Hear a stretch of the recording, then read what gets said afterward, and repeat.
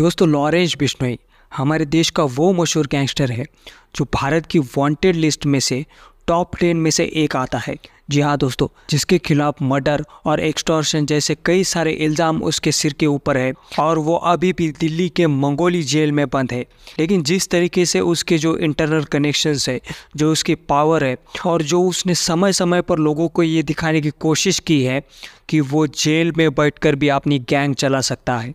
जी हाँ दोस्तों, जेल में बैठकर फिर चाहे वो इंटरनेट का यूज़ करना हो, फिर चाहे वो मोबाइल यूज़ करना हो, या फिर जेल में बैठ के किसी मीडिया को इंटरव्यू देना हो, ये सब कुछ उसने जेल में बैठकर ही करके दिखाया है। यानी कि अब हम सोच सकते हैं दोस्तों कि जेल में बैठकर लॉरेंस बिश्नोई किस तरीके से अपनी गैंग को चला रहा है, और किसी को मारना हो, या फिर कोई क्राइम करना हो, ये उसके लिए बहुत ही आम बात है। हमारे देश में अगर कहीं पे कोई बहुत बड़ा हत्याकांड होता है तो उसके बाद फेसबुक पर एक पोस्ट आती है कि इस हत्याकांड की जिम्मेवारी लॉरेंस बिश्नोई गैंग लेती है और फिर पूरी तरीके से हमारे देश में एक डर का माहौल पैदा हो जाता है। कुछ इस तरीके की पावर है लॉरेंस बिश्नोई की। जैसे कि ऐसी सेम घटना जब सिद्धू मूसेवाला को मार दिया था, कुछ अज्ञान शूटर द्वारा सिद्धू मूसेवाला, जो एक बहुत ही मशहूर सिंगर थे, उनको मार दिया गया था और उसके बाद फेसबुक पर एक पोस्ट आई कि इस मर्डर की जिम्मेवारी लॉरेंस बिश्नोई गैंग लेता है और सिद्धू मूसेवाला, जो कि एक खालिस्तानी सपोर्टर था, जो कि भारत विरोधी काम करता था, इसलिए उसे मार दिया गया। ऐसा लॉरेंस बिश्नोई गैंग अपनी उस फेसबुक पोस्ट पर लिखती है और पूरे भारत में सन्नाटा छा जाता है। सब जगह लॉरेंस बिश्नोई की बात करी जाती है। न्यूज़ चैनल सभी पर लॉरेंस बिश्नोई और सिद्धू मूसेवाला के हत्याकांड के बारे में बताया जाता है कि किस तरीके से लॉरेंस बिश्नोई गैंग ने सिद्धू मूसेवाला को सरेआम मार दिया। कहने को तो लॉरेंस बिश्नोई खुद को एक देशभक्त कहता है, और जो लोग देश के खिलाफ है, वो उसके दुश्मन है, ऐसा वो मानता है। जैसे कि पाकिस्तानी, खालिस्तानी, और जो कोई आतंकवादी संगठन जो भारत के खिलाफ जाने की कोशिश करता है, वो उनके दुश्मन है, ऐसा लॉरेंस बिश्नोई ने मीडिया रिपोर्ट में कहा था।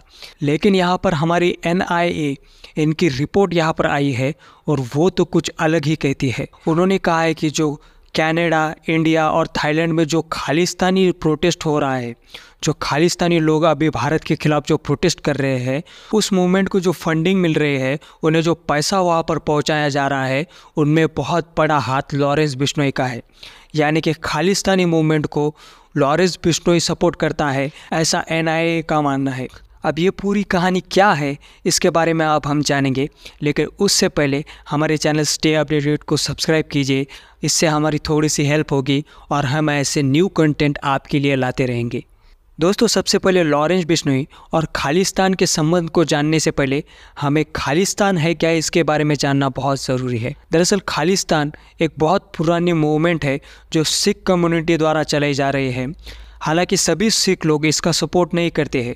कुछ एक सिख कम्युनिटी है जिनको भड़काया जा रहा है और वो इस मूवमेंट को बढ़ाने का काम कर रही है। लेकिन खालिस्तान ये है क्या? दरअसल खालिस्तान एक ऐसी मांग है, जहाँ पर वो चाहते हैं कि उनका अलग राज्य हो, उन्हें पूरी तरीके से एटोनॉमी वहाँ पर दी जाए और उनका खुद का कॉन्स्टिट्यूशन भी वहाँ पर हो। अब यहाँ पर ये भारत से अलग होने की बात नहीं कर रहे हैं।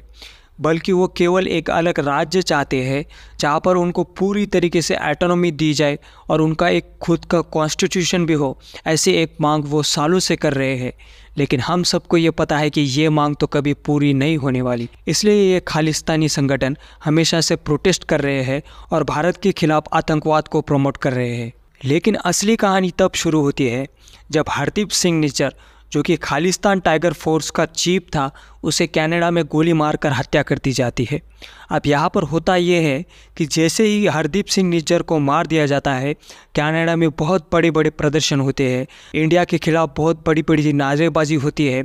इंडिया के खिलाफ विरोध प्रदर्शन किया जाता है और यहाँ पर इंडिया के खिलाफ ये एलिगेशंस लगाए जाते हैं कि हरदीप सिंह निज्जर की मौत के पीछे इंडिया की खुफिया एजेंसी का हाथ है। यहाँ तक ही नहीं, कनाडा के जो प्राइम मिनिस्टर है जस्टिन ट्रूडो, उन्होंने तो सरेआम इंडिया पर यह एलिगेशंस लगाए हैं कि हरदीप सिंह निज्जर की मौत के पीछे इंडिया का हाथ है। अब जैसे ही कनाडा हमारे ऊपर ये बहुत बड़े बड़े एलिगेशंस लगाती है तो हमारे भारत देश का इसके ऊपर एक रिप्लाई तो आना बनता है। और वहाँ पर हमारे foreign minister S Jaishankar Canada को एक रिप्लाई देते हुए कहते हैं कि कनाडा ये जो इंडिया पर एलिगेशंस लगा रही है, ये बेबुनियाद है। अगर कनाडा के पास इसके खिलाफ कोई भी सबूत है तो इसके ऊपर हम चर्चा करने के लिए तैयार है। लेकिन कनाडा ऐसे बेबुनियाद इल्ज़ाम इंडिया पर ना लगाए, ऐसी साफ़ साफ़ स्टेटमेंट यहाँ पर एस जयशंकर कैनेडा को देते हैं। लेकिन उसके बाद होता यह है कि एक और खालिस्तानी समर्थक को यहाँ पर गोली मारकर हत्या कर दी जाती है, जिसका नाम था सुखदूल सिंह सिक्का। और उसके कुछ ही घंटों के बाद फेसबुक पर एक और यहाँ पर मैसेज आ जाता है कि सुखदुल सिंह सिक्का इस गैंगस्टर को क्लॉरिस बिश्नोई गैंग ने मार दिया है। और उस मैसेज में लिखा होता है कि सुखदुल सिंह सिक्का को अपने पापों की सज़ा यहाँ पर मिल गई है और ये चेतावनी दी जाती है कि लॉरेंस बिश्नोई गैंग के दुश्मन जहाँ पर भी हो, फिर चाहे वो भारत में हो या फिर किसी अन्य देशों में वो छिपे हो, उन्हें जीवित नहीं छोड़ा जाएगा। और जैसे ही ये इल्ज़ाम लॉरेंस बिश्नोई गैंग अपने सर पर लेती है, तब से ये पूरा बवाल और ज़्यादा बढ़ जाता है। खालिस्तानी मूवमेंट और ज़्यादा तेज़ कनाडा में होती हुई नज़र आती है, जिसके खिलाफ कनाडा के प्राइम मिनिस्टर जस्टिन ट्रूडो हमारे भारत देश के खिलाफ कई ऐसे बड़े बड़े एलिगेशन यहाँ पर लगाती है। लेकिन यहाँ पर कुछ न्यूज़ चैनल ये कहते हैं कि लॉरेंस बिश्नोई तो खालिस्तानी सपोर्टर नहीं है, वो खालिस्तानियों को अपना दुश्मन मानता है और वो उन्हें ही मार रहा है तो वो हमारे देश के लिए एक अच्छी न्यूज़ है। लेकिन यहाँ पर एनआईए की एक बहुत बड़ी रिपोर्ट सामने निकल कर आ रही है।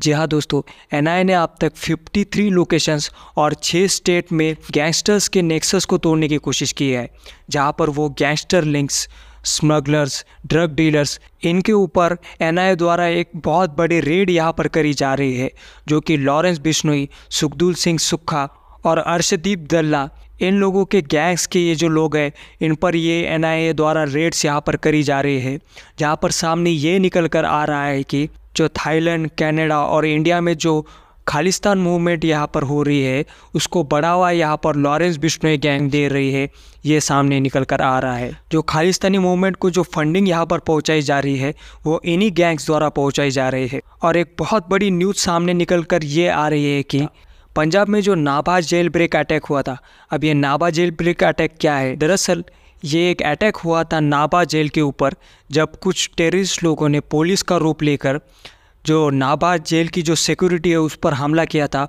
और चार ऐसे गैंगस्टर को वहाँ पर छुड़वा लिया था।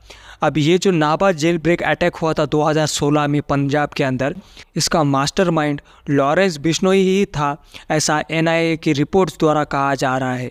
लेकिन अब यहाँ पर आपके मन ये क्वेश्चन आ रहा होगा कि लॉरेंस बिश्नोई खालिस्तानी सपोर्टर है या फिर खालिस्तान का वो विरोध करता है? दरअसल आपको यहाँ पर एक चीज़ समझना बहुत ज़रूरी है दोस्तों कि ये जो गैंगस्टर लोग हैं, ये किसी के सगे नहीं होते, ये किसी का विरोध या फिर सपोर्ट नहीं करते। जो इनके खिलाफ जाता है, ये उनको मारने की कोशिश करते हैं, बस और कुछ नहीं। और ये ज़्यादातर एक्सटॉर्शन, मर्डर, मनी लॉन्ड्रिंग, इन जैसे घिनों ने काम करके अपने गैंग्स को बढ़ाने की कोशिश करते हैं और एक तरीके से देश को थ्रेट पहुँचाने की कोशिश करते हैं। So that's all about this video आपको ये वीडियो कैसे लगी, हमें कमेंट सेक्शन में ज़रूर बताइए। और ऐसे ही अमेजिंग वीडियोस के लिए हमारे चैनल स्टे अपडेटेड को सब्सक्राइब कीजिए।